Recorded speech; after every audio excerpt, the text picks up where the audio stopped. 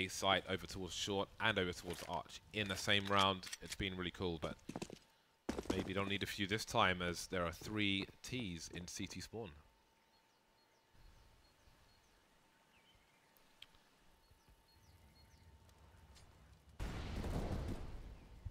Let's see Zez make their way.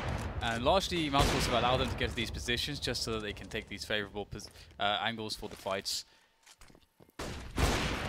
Clean this up without a single loss. So far, so good. chrisJ doing what he has to do. Now, Sunny has to deliver the damage, but he can't actually. Wow. Wow. That was a quick one, but oskar